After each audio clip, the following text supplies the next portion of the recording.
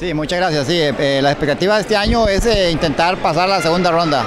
Vamos a ir partido por partido enfrentando el, juego porque cada equipo tiene su, forma de jugar y es muy diferente un partido a otro.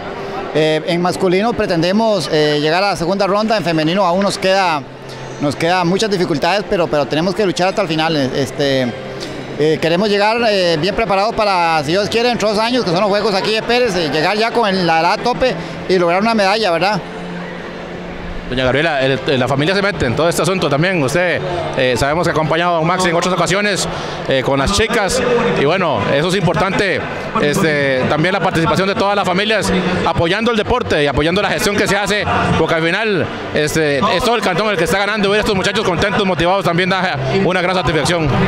Sí, buenas noches, muchas gracias. Eh, ya en mi tercer año acompañando a las muchachas, es una experiencia muy bonita el compartir con ellas, apoyarlas, estar en las graderías en cada partido.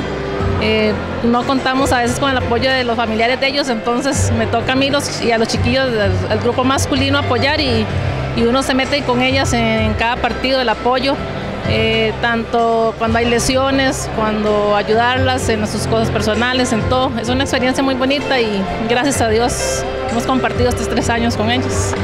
Gracias, éxitos.